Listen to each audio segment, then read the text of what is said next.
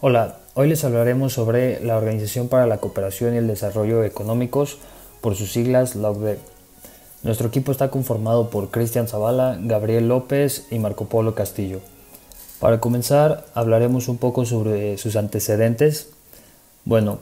cómo surge la, OCDE, sus orígenes se remontan eh, en la década de 1940.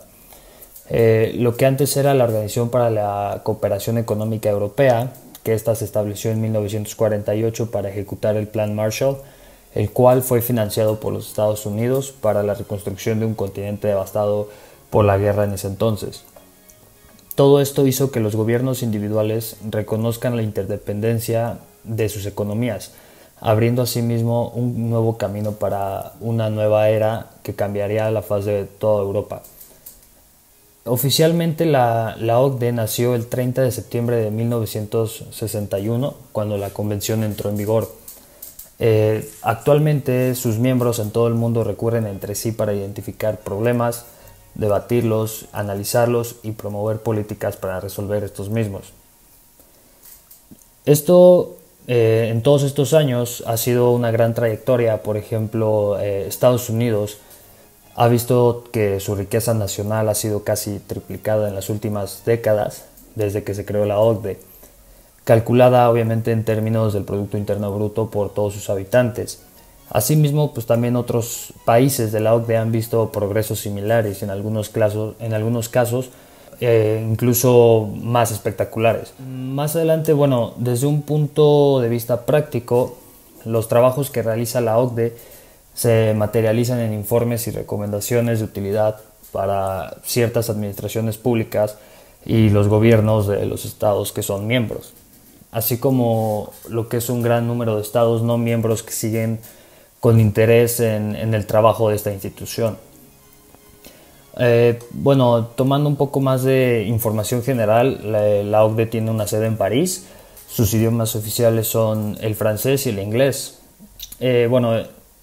Muchos dicen que bueno, la OCDE es uno de los foros mundiales más influyentes en el que estos analizan y establecen orientaciones sobre temas con bastante relevancia internacional, como lo que es la economía, la educación, medio ambiente, etc. Los países miembros eh, se comprometen a aplicar los principios de liberización, eh, no discriminación, trato nacional, trato equivalente, etc. Eh, bueno, ahora más adelante eh, la OCDE está dividida en, varios, en varias áreas. Eh, una de ellas es su personal. el personal de, del secretariado de la OCDE realizan, estos, realizan estudios y análisis a petición de los países miembros de la organización, cuyos representantes se reúnen e intercambian información sobre asuntos clave en los comités especializados. Eh, e, este, este poder de, decisión recae en el Consejo de la OCDE. Los comités, eh, en estos comités hay representantes de los países y estos se reúnen en, estos mismos comités especializados para debatir sus ideas, eh, revisar y analizar los progresos realizados en ciertas áreas específicas de política pública. actualmente existen cerca de 200 comités, grupos de trabajo y grupos expertos. Hay cerca de 40.000 altos funcionarios de los gobiernos de los países que participan cada año en las reuniones de comité de la OCDE para solicitar y revisar los trabajos que el secretariado ha presentado. Otra área es el Consejo, esto es muy importante. El Consejo de la OCDE es el responsable de la toma de decisiones de esta organización. Se compone de un representante por cada país miembro, más un representante de la Comisión Europea. Eh, el Consejo se reúne con regularidad en el nivel de representantes permanentes ante la OCDE y las decisiones eh, que se, toman por consenso. Una vez al año, eh, el Consejo se reúne en el nivel ministerial para abordar problemas importantes y establecer prioridades a fin de llevar los trabajos a cabo con la OCDE. más adelante tenemos lo que es el secretariado, bueno, cerca de 2.500 personas integran lo que es el secretariado de la OCDE en París y trabajan para apoyar todas las actividades de estos comités. Eh, el, del secretariado forman parte unos 700 economistas, abogados, científicos y otros profesionales distribuidos principalmente en una docena de de directorados fundamentales que realizan todo este tipo de investigaciones y de análisis. Lo, más interesante es que el actual secretario es un economista mexicano, quien es José Ángel Gurría. Más adelante tenemos, bueno, lo que son los, los socios clave. Eh, la OCDE trabaja en una estrecha colaboración con, con, países y socios clave, entre los que, bueno, se encuentran algunas de las principales economías del mundo, Brasil, China, India, Indonesia, Sudáfrica, y estos socios clave participan en, en discusiones sobre políticas públicas de los comités de la OCDE, se involucran en los estudios realizados por la organización y forman parte de las bases de datos estadísticos. A continuación tenemos eh, una gráfica, un recuadro, perdón, con los 37 países miembros y el año en que estos se adherieron a la OCDE. Como podemos ver, el más reciente ha sido Colombia, se se adherió este año, en el 2020. Y bueno, para concluir mi parte, eh, esto es muy interesante ya que para, para que un país se pueda adherir como, como miembro de la OCDE, eh, esto conlleva un proceso muy exigente, lo que no solo significa cumplir con su misión y adherirse a los valores, sino también estos países deben de ser capaces de asumir las responsabilidades y exigencias que acompañan el estatus de, miembro activo de la organización. Eh, para convertirse en miembros, los países pueden presentar su candidatura o pueden ser invitados también por el Consejo de la OCDE a iniciar este proceso para adherirse. Entonces, eh, más adelante se establece una hoja de ruta para la adhesión que determina las modalidades, las condiciones y el proceso que debe respetarse se realiza un examen técnico para evaluar las políticas y las prácticas del país en comparación con las mejores prácticas de la OCDE. También eh, se estima la capacidad del país para implementar las normas de la OCDE. Esta fase se suele traducir en una serie de medidas que, el país debe implementar para poder cumplir los requisitos de la membresía de la, de la OCDE. Eh, también cada, cada, país debe ratificar la adhesión a la,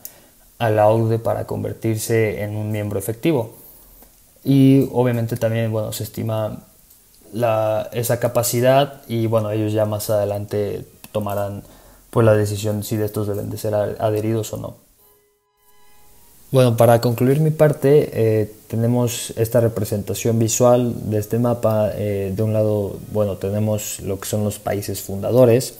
lo que es Estados Unidos, Canadá, Europa, ciertos países de Europa, perdón, etc. Y tenemos algunos otros que son los más recientes en el mapa. Bueno, unos datos interesantes es de que, bueno, desde el 2010, siete nuevos países se han unido a la OCDE como se mencionó, Colombia ha sido en el último país que se, que se adherió a este foro. Y otro dato bastante importante que cabe mucho recalcarlo es de que los países de la OCDE y sus socios clave representan alrededor de un 80% del comercio y de las inversiones mundiales. Eh, realmente este, este dato es bastante interesante e importante porque viéndolo de esa manera nos da a entender lo que es toda la importancia de la OCDE y con todos estos países miembros. Y bueno, para finalizar, eh, estos países diariamente colaboran con representantes de gobiernos, con parlamentos, organizaciones internacionales, empresas, sindicatos, con la misma sociedad, eh, con la comunidad académica y con varios ciudadanos en todo el mundo. Entonces es por eso eh, la importancia de la OCDE y sus países miembros. Hola, buenos días compañeros. Ahora yo les voy a hablar sobre el financiamiento y otros tópicos relevantes a tratar sobre la Organización para la Cooperación y el Desarrollo Económico. Bueno, con el financiamiento, la OCDE es financiada por sus 37 países miembros. La contribución de los países al presupuesto anual se calcula de acuerdo al tamaño de la economía de cada uno. El Consejo determina el presupuesto de la OCDE, que es cercano a los 340, 340 millones de euros al año, así como su programa de trabajo, que dicho programa de trabajo se establecen los parámetros que se van a tratar durante todo el año. Bueno, el presupuesto global consolidado de la OCDE para el 2019 eh, está calculado en 386 millones de euros y como podemos ver, el mayor contribuyente de todos los países es Estados Unidos con un 20.5%. Esto es evidente ya que como bien se sabe Estados Unidos es probablemente la economía más importante y la que más saque recursos del mundo, saca recursos del mundo, por lo tanto su aportación es mayor a dicha organización. Como podemos ver en segundo lugar está Japón con 9.4% y podemos ver que México da una considerable aportación que es del 2.7%. Bueno, seguimos con los propósitos iniciales. Bueno, en su nacimiento eh, la OCDE solo trataba tópicos a relevar de economía, pero conforme fue pasando el tiempo, esto empezó a cambiar y como podemos ver en la diapositiva, ya se trataron temas de administración pública y desarrollo territorial, ciencia, tecnología e industria, cooperación con países no miembros, empleo y cohesión social, agricultura, comercio, educación, energía. Esto para nosotros fue algo, fue algo inusual ya que consideramos que solo trataba de tópicos exactamente económicos, pero no, también llega a tratar este, temas de otro tipo y el más relevante y el que más causó impacto para nosotros fue el de medio ambiente, que como bien sabemos, la agenda internacional de la ONU ya se ha girado más hacia dicho tema. Que bueno,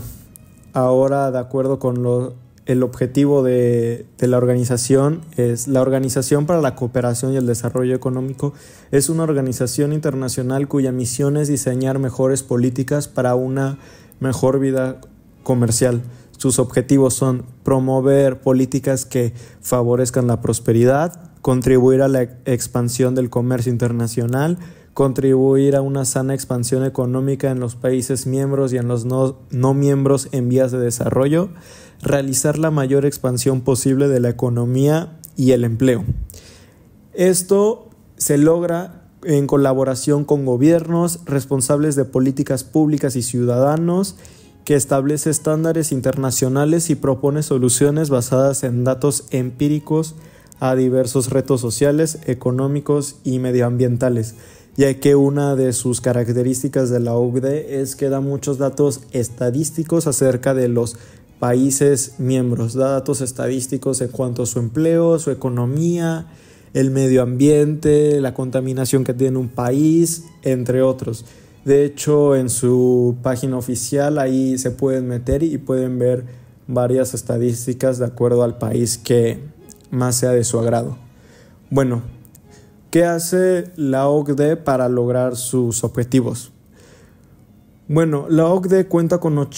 con 800 investigadores de alto nivel que permite esto a esta organización realizar investigaciones y análisis en casi todo el mundo en colaboración con los gobiernos, otros organismos internacionales, ONGs, empresas y consultores independientes. Aunado a esto, la OCDE cuenta con diversos cuerpos semiautónomos, que entre ellos está la Agencia Internacional de Energía, la Agencia Nuclear de Energía, el Centro de Innovación e Investigación Educativa y el Centro para el Desarrollo.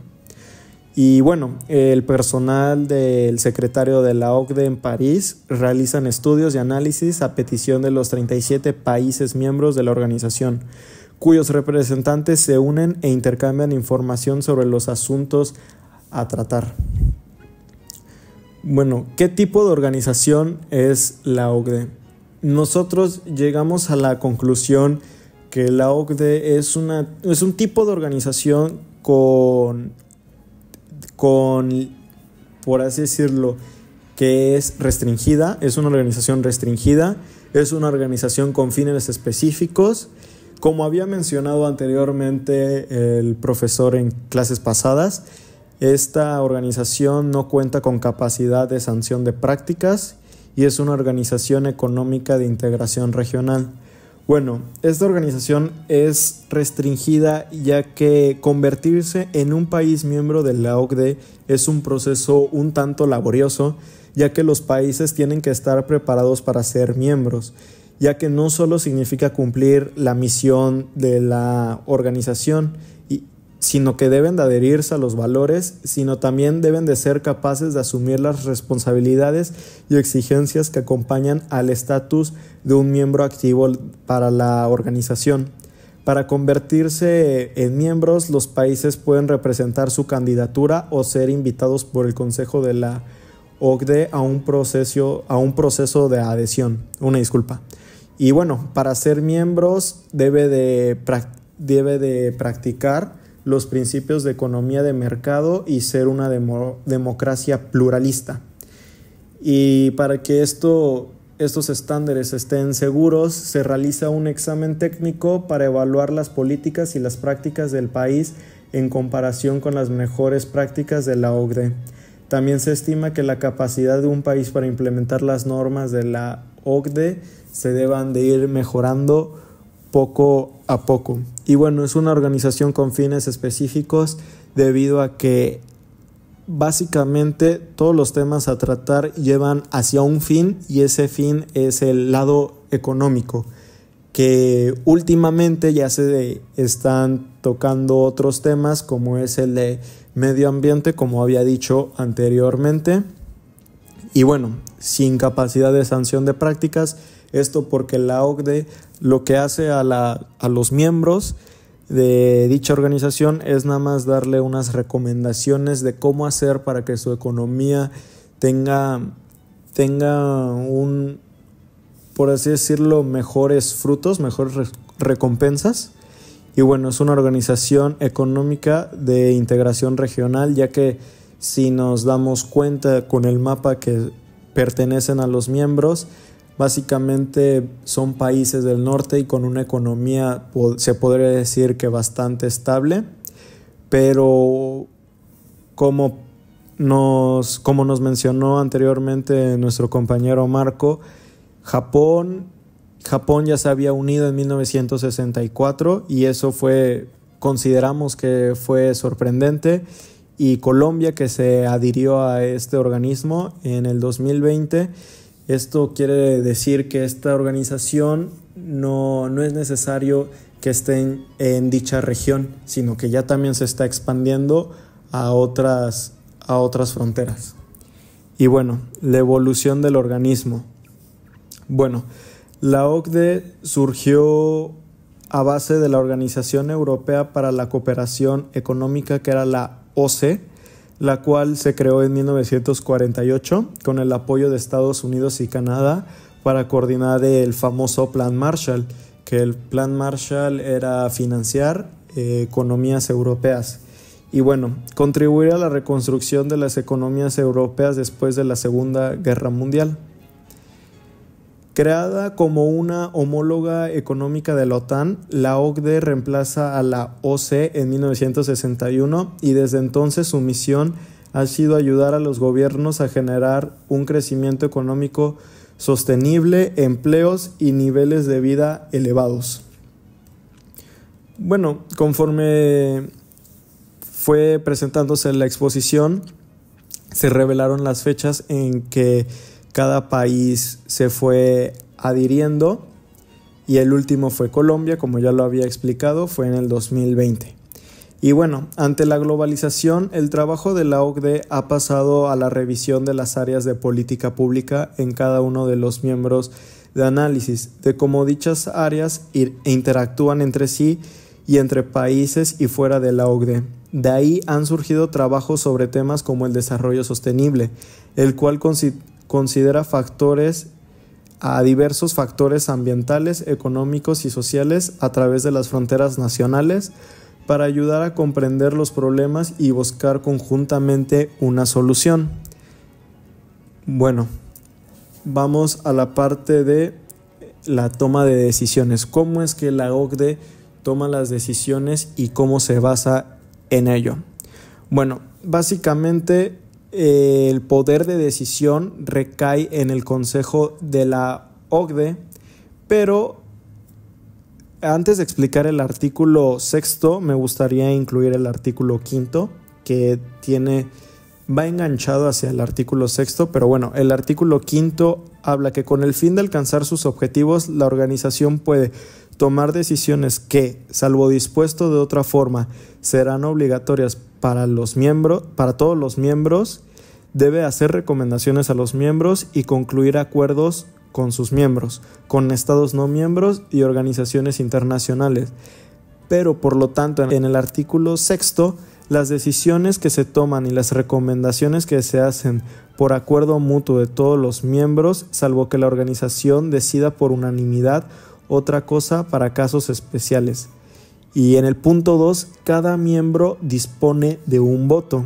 Si un miembro se abstiene de votar una decisión o una recomendación, tal abstención no será obstáculo para la validez de dicha decisión o recomendación, que será aplicable para los demás miembros, pero al no miembro que se abstiene. Y bueno, esto para nosotros fue algo impactante ya que como se puede ver, si un país no está de acuerdo con ciertas políticas que se ciertas políticas económicas que se establecen en la organización, no, no tiene un valor, por así decirlo, ya que no afectaría para que dicha resolución o iniciativa proceda. Bueno compañeros, y ahora yo les voy a hablar de los programas regionales, bueno, los programas específicos desarrollados por la organización y particularmente nos vamos a enfocar en uno que, bueno, es el programa regional de la OCDE para América, Latina y el Caribe, que se dio en una reunión del Consejo Ministerial de la OCDE de 2016. Y pues básicamente, ah, de una forma lógica, esta organización argumenta la creación de este programa debido a que habla que, ah, sobre que América Latina tiene una relevancia bastante grande a nivel mundial en cuanto a la economía. Este, nos da algunos datos como que la región en total combina un PIB de casi 6 billones de dólares y un mercado de 644 millones de personas. Y bueno, del mismo modo habla como de que estos países en realidad son clave para la integración de la OCTE. Sin embargo, nosotros también vamos a ver y analizar cómo ha sido el proceso de integración de esta área eh, a, bueno, a esta institución, a este organismo internacional. Y bueno, eh, desde hace más de 20 años, la OCDE ha tenido, digamos, una relación importante con países latinoamericanos, sobre todo, por ejemplo, como Brasil, que no es eh, un país miembro, sin embargo, ha sido un socio clave a lo largo de los años. Y bueno, como habíamos mencionado con anterioridad, Chile y México originalmente y durante muchos años fueron los únicos países latinos que formaban parte de esta organización. Sin embargo, como ya mencionaron mis compañeros, ah, recientemente se dio la integración de Colombia a la misma organización. Entonces, a lo largo de los años, la OCDE ha ido como poco a poco implementando programas en América Latina. En Perú, por ejemplo, hay un programa específico de colaboración. También tiene un centro de desarrollo que se le conoce como el OECD Development Center, en el que participan Argentina, República Dominicana, Panamá y Uruguay. Y bueno, aunque estos países en realidad no son países miembros, eh, estos participan directamente con la organización a través justamente de comités, eh, algunas redes de diálogo, algunas encuestas. Y justamente estos países que son parte de este centro de desarrollo les proporcionan una plataforma para tener una comunicación directa con la organización. Y por eso es que, digamos, se puede ver cómo a lo largo de los años esta organización ha ido expandiéndose por esta región, tratando de formar alianzas de algún modo y fundamentar o más bien sustentar su em, institucionalización en esta región. Y bueno, también algo muy interesante es cómo esta organización trabaja de la mano con, con otras organizaciones de la región. Por ejemplo, con la Comisión Económica para América Latina y el Caribe, la CEPAL, de Naciones Unidas también con el Banco Interamericano de Desarrollo, el BID, conocido como el BID, el Banco de Desarrollo de América Latina, la Organización de los Estados Americanos y la Secretaría General Iberoamericana. Esto es interesante porque obviamente el argumento principal de la organización internacional es por, supuesto, es por supuesto que quiere, digamos, trabajar en conjunto con los gobiernos regionales de América Latina para compartir experiencias, solucionar problemas comunes, etc. Sin embargo, se puede notar claramente el interés, digamos, de, sustentarse en esta región, establecerse de una forma más formal, por decirlo así, y pues muchos países de América Latina cada vez en realidad tienen más interés de pertenecer a este bloque, que en general está conformado por países ah, ricos, por decirlo así, es decir, que, contribuyen en gran medida al PIB mundial. Y bueno, de hecho, en su conjunto los países que integran la organización acaparan, acaparan casi el 50% del PIB mundial y el 70% del comercio global. Por eso es que hay tanto interés, digamos, de los países latinoamericanos a adherirse a esta organización. Y bueno, si bien estar en esta organización no les brinda a los países un financiamiento directo, créditos como tal, sí les brinda oportunidades justamente de acceder a estas inversiones extranjeras y financiamientos, pero obviamente como ya vimos con anterioridad, los países deben seguir una serie de normas. Entonces, bueno, a continuación igual presentamos varias iniciativas y disposiciones que la OCDE generó en este programa en la región de América Latina. Una de ellas, por ejemplo, es la iniciativa de inversión que remarca eh, notablemente la contribución de la inversión privada al desarrollo económico y social en América Latina. Entonces, otra vez es, digamos, una forma obviamente pues muy evidente de querer obviamente implementar una economía neoliberal y capitalista en la región, ¿no? Y mantenerla así, es decir, unificar esta economía. También hay una iniciativa fiscal, hay una mesa redonda latinoamericana de gobernanza corporativa, una red de gobierno corporativo de las empresas, entre otros. Y bueno, también es muy interesante la iniciativa anticorrupción latinoamericana que se, se creó para promover y fortalecer la implementación de la Convención Antisoborno de la OCDE. Y este, bueno, básicamente es interesante debido a todo, obviamente, que es una de las cuestiones más relevantes en esta región y por ende se, procura, digamos, tratar de solucionar este problema lo más pronto posible. Y bueno, ah, finalmente procederemos con un análisis del problema a través de las teorías abordadas en el curso para finalizar igual con una crítica a, los, a las intenciones, digamos, reales de la implementación de la OCDE y su funcionamiento a lo largo de los años. Y bueno, comenzamos descartando de entrada al realismo como una buena teoría para analizar este fenómeno, ya que como sabemos, ah, bueno, esta teoría nos dice que los organismos internacionales en realidad no son efectivos, nos habla de estos mismos como instrumentos de los estados con poder, que sí podría tener una validez en este caso debido a la historia de la fundación de la OCDE y eso lo abarcaremos más adelante. Pero bueno, igual habla de los países en realidad que no son autónomos y los estados, digamos también el derecho internacional y organismos internacionales no funcionan, por ende el realismo no lo consideramos una buena teoría para explicar este fenómeno. Sin embargo, el liberalismo por supuesto que sí debido a bueno, toda la interdependencia económica que existe entre estos países, para empezar. En su mayoría son países, eh, como se les ha mostrado, europeos, que, digamos, eh, se adhirieron a esta organización que se creó después de la Segunda Guerra Mundial. Para, bueno, debido al plan Marshall que se dio, después de la elaboración del plan Marshall, que hubo otra organización, que era la que precedía a la OCDE, Luego la OCDE surge, digamos, como una consecuencia de este plan que era para supuestamente financiar otros países y prevenir el socialismo, la expansión del mismo y ayudar a las economías a resurgir después de la guerra.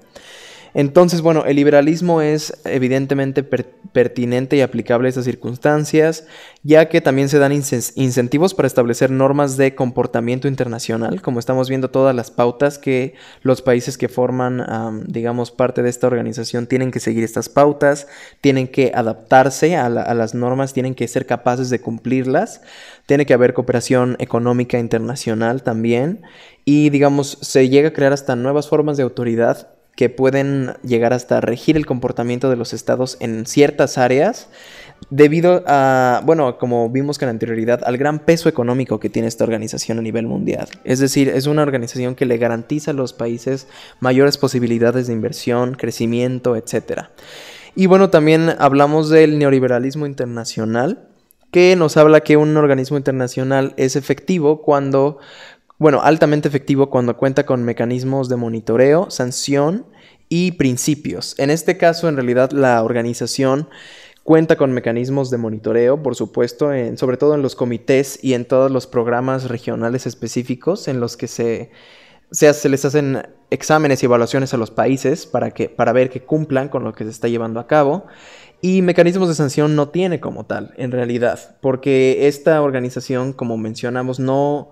no aporta créditos directamente a los países, simplemente los los orienta o digamos los encamina a un mercado internacional y les facilita muchísimo la entrada a este mercado internacional. Obviamente les da algunos beneficios eh, en el hecho de que puede ser más fácil que inviertan en ellos, pero no hay digamos una sanción económica como tal o inclusive moral como tal, ya que es un organismo meramente económico en, en sus orígenes, aunque luego se ha expandido a otras áreas. Entonces, bueno, de acuerdo al neoliberalismo institucional, faltaría este punto, digamos, para que fuera un organismo altamente efectivo. Bueno, luego ah, podríamos analizar la situación también desde el constructivismo, ya que esta teoría nos dice justamente que las, ah, digamos, todas las ideas que se generan en estos, en estos organismos internacionales, eh, las ideas, valores y perspectivas se van generando a lo largo del tiempo en la creación y digamos en el desarrollo de estos organismos. Del mismo modo nos habla de que son espacios de socialización para la élite internacional, que en este caso es sumamente aplicable justamente por los orígenes de la organización y los países fundadores, que básicamente eran países con una economía muy estable en realidad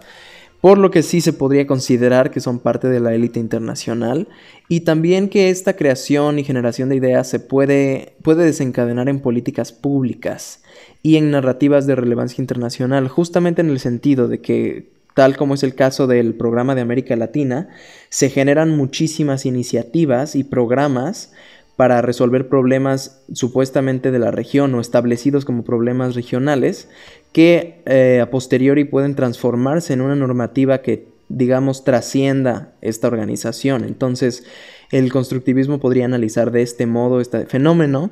y últimamente el marxismo nos habla de que la desigualdad obviamente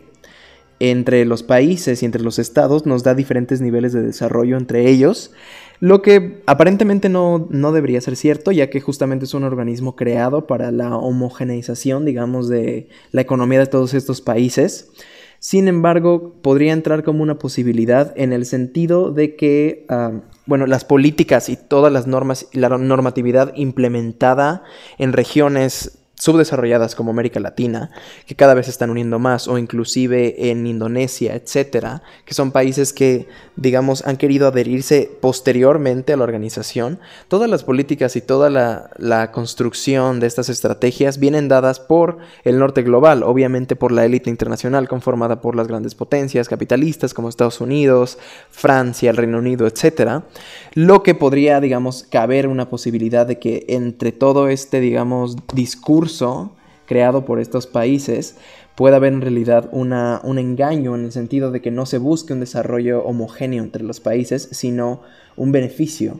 para las potencias en realidad, a través de una supuesta homogeneización de políticas. Y bueno, ah, para, obviamente justamente esto para, es para mantener el status quo de una desigualdad internacional y por los intereses de las clases dominantes. Y bueno, llegamos a la parte final de, de este análisis en el que